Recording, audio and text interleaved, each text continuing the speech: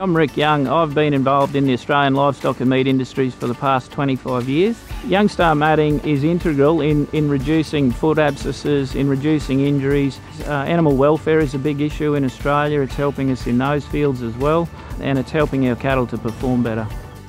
Uh, we've been using the Youngstar mats for a bit over a year now. We've installed those in our cattle receival and exit area and across our weighbridge. So the durability was something that's important to us. The main issues with hard surfaces is slipping and the resulting injuries that come from that. So hips and legs and broken legs. Trying to trying to stop that slipping is is the predominant reason for introducing rubber matting, um, and it's also it quietens it down a lot as well. So the matting's been in for approximately 12 months now.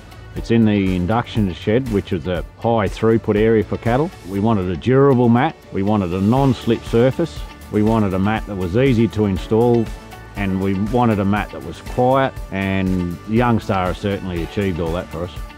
We found the durability of the Youngstar matting is exceptional. That'll make it pay for itself um, without doubt over the longer term. Cattle are calmer, more content, which then relates through to the staff. The whole situation's just a lot better. Knowing that your animals don't slip and fall over, you know, we're giving them the best care we possibly can and it reduces our workload in the long term. I like that cattle don't slip and don't hurt themselves, and I like that people uh, feel better when they're handling cattle on Youngstar matting.